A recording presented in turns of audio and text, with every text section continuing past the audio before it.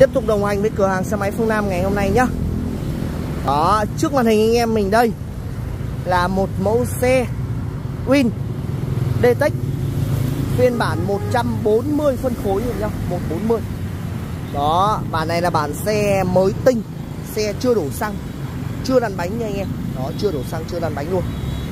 Cái mẫu uh, Win uh, Indo hồi xưa ấy thì uh, nó thiết kế chỉ có một đồng hồ thôi anh em đó, còn đời mới bây giờ nó thiết kế là anh em là có hai đồng hồ nhá, hai đồng hồ. Đồng hồ báo công tơ mét và đồng hồ báo tua. Đó, hiện thêm đồng hồ báo số, đồng hồ à, điện tử luôn anh em. Đó, nhìn rất là đẹp anh em nhá, form xe. Mang phân khúc là 140 phân khối anh em, đi chạy cực kỳ mạnh mẽ luôn nha anh em. Đó chứ cực kỳ sướng luôn. Đó, trang bị đèn xi nhan này. Đó, hai bên hai cái đằng trước cũng vậy luôn. Chưa có bóc tem giấy là anh em nhá. Đó, chưa đổ xăng anh em, mình nhắc lại nhá, chưa đổ xăng, chưa lăn bánh, chưa câu bình. Đó giá tiền thì nói chung là cực kỳ hợp lý rồi anh em. Đó mẫu đèn tròn đèn cực kỳ sáng anh em nhá. Giá chỉ có hơn 10 triệu thôi này anh em đã sở hữu một chiếc Detect 140 phân khối để cho mình rồi. Nếu anh em nào mà điều kiện kinh tế chưa đủ thì mình sẽ hỗ trợ anh em trả góp. Đó với giá tiền chỉ có tầm hơn 10 triệu thôi.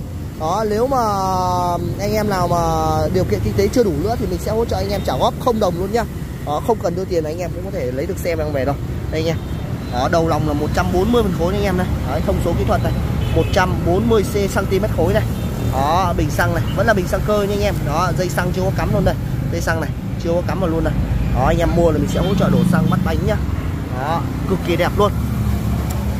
Cửa hàng mình à, có hỗ trợ anh em ship xe 63 tỉnh thành luôn. Đó anh em nào ở xa không tới cửa hàng xem xe được thì anh em có thể cọc cho mình một phần tiền. Mình sẽ hỗ trợ anh em ship xe tận nơi nha anh em. 63 tỉnh thành phố rồi ok. Cảm ơn anh em đã coi video của mình nhé